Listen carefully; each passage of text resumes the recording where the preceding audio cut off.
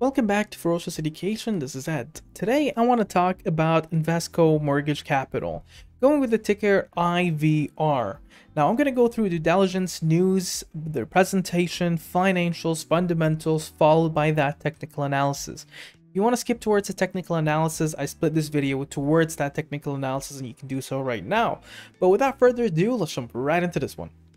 So Invesco Mortgage Capital.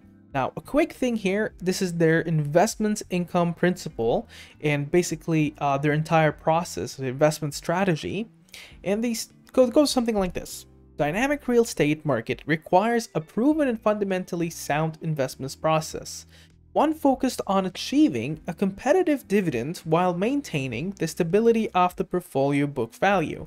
At Invesco Mortgage Capital, we take an opportunistic approach we consider a broader spectrum of opportunities and deliver more diversified or deliver a more diversified portfolio than more than most managers of mortgage REITs. Our, extreme, our external management team performs detailed analysis at the security, loan, property, and borrower level. We employ comprehensive risk management with specific elements integrated at each step of the investment process. The IVR portfolio results from a series of disciplined and defined process stages, including macroeconomics and capital market analysis, achieving detailed understanding to process governing interest fees or interest rates, the business cycles, and other financial conditions. Mortgage sector analysis, identifying opportunities and trends in agency basis, prepayments, credit sector basis, and assets and funding sources. Security level analysis $96.9 million in quarter 3 2020, $111 million in quarter 4 2020, and a loss of $20.4 million in quarter 1 2021. Now, when we go back down towards uh, other, like the lists that they've actually described relating to that net loss, we're able to see that the net, loss attributed to the common stockholders for the first quarter of 2021 was $20.4 million compared to a net income a net income to common stockholders of around $111.6 million for the fourth quarter of 2020. Now the net loss was mainly due by uh, because of a 332 million dollars net loss on investments that exceeded net gains on derivatives of $287 million during the quarter. The company raised $161 million of net proceeds from issuance of common stockholders during this quarter, which is basically like offerings, uh, public offerings or direct.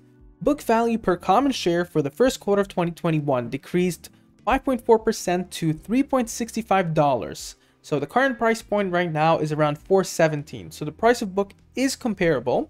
Uh, so it looks like maybe the Finviz one of 0.86 is not actually correct because they do mention that the price over book was 365 or sorry the book value is 365 um, that is 5.4% decrease from quarter to quarter.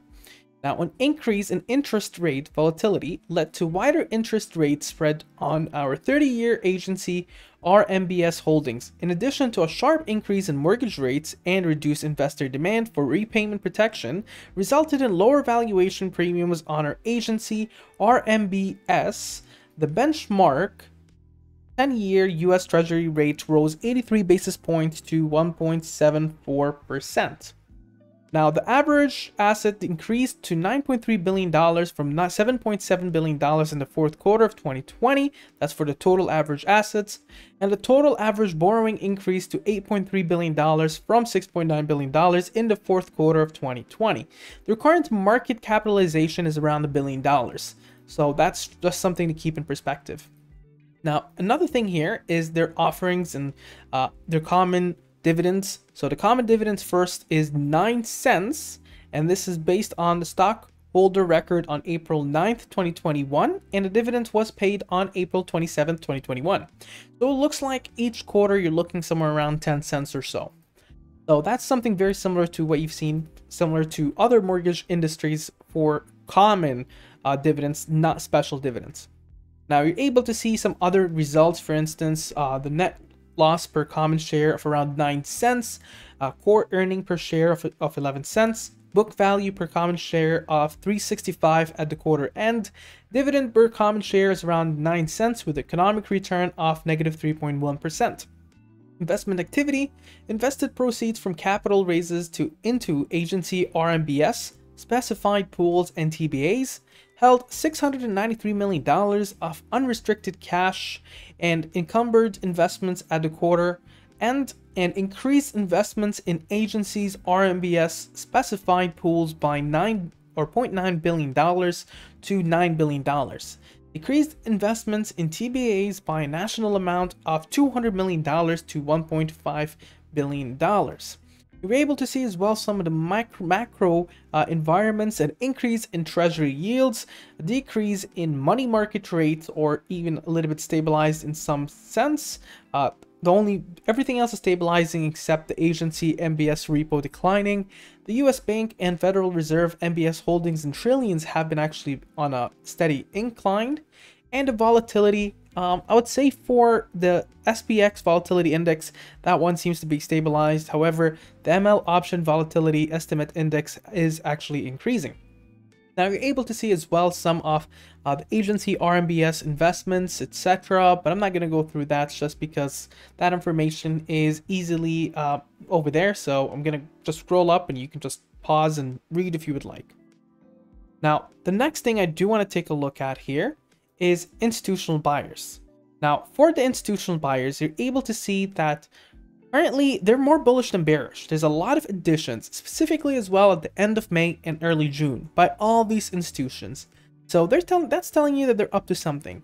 Now before moving on towards technical analysis, if you'd like to see more contents like this, make sure to hit that subscribe button on the bottom right corner, subscribe and turn the bell notification button. Also make sure to drop a like and if you'd like to join our Discord, you can click show more and join our Discord.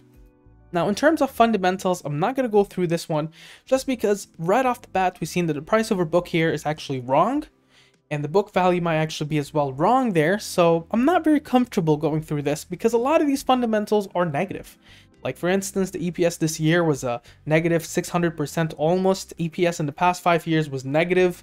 Next year is only around 4%, though I'm not very comfortable going through this one here. So let's move on towards technical analysis. Now, from a technical analysis standpoint of view, what we get to see here on a one month, one day perspective is that things are starting to look very bullish. On the ADX, it's sitting around 2870, indicating a, a trend that has a very strong potential to become a strong trend. The Williams percent R is not actually even at the overbought section. It's closer to overbought than oversold though. Now, in terms of the MACD, you see positive reversals that occurred on the early morning of 8th of June uh, 2021. Today, you've seen an increase in this momentum, and the momentum itself indicator is at 0.63. So the moving average as well, you see that the price point is for the first time in a while actually, way above all these moving averages, and that's a bullish indicator. Now stochastic fast and stochastic slow both are kind of indicating upwards, telling you there might actually be another leg up for this one. Volumes have been insane today. This might actually be the strongest and the biggest volume you've seen in the stock history. Now the current Bollinger Bands, the moving average, don't hold much onto this one because of this strong volume. But what we get to see here is on the Fibonacci retracements, if we go all the way back, this stock before the market crash was around 1830 and it dropped down all the way to 180. So what we're going to do here is, is we're going to be using a Fibonacci retracements all the way from the 1830s all the way down to the 182 level. And from there, what we're going to see here is that the stock itself has a Fibonacci retracements resistance closer to the 567, 809, 1003, 1198, 1476, and 1830. But if we were to actually take a look at more of a micro level, and sit at the 840 as your resistance and kind of ignore the historical price point, which we'll go back to in a second, and take the 240 as well at the bottom, you're seeing a Fibonacci retracements resistance at the 469, above there 540, 610, 711, and 840. On the support, you're seeing 382 and 240. Now on a price line action, you can say that there is a very strong support sitting at the 414 level. And then below there, you're looking down at the 394, and then downwards at the 373, going to 354, and then 338, going down to 327, and then down to 295, 267, and the 253 level. Significant resistance levels, you're seeing a strong one at the 416, where it's currently at, and then the 447, and then the 516, and then the 554, 598, and then the 690. Now we can go backwards even and take a look at the historical price points. And I would say one of the strongest resistance you probably will have will be at this line here, the 1484. Above there, another strong one, 1657.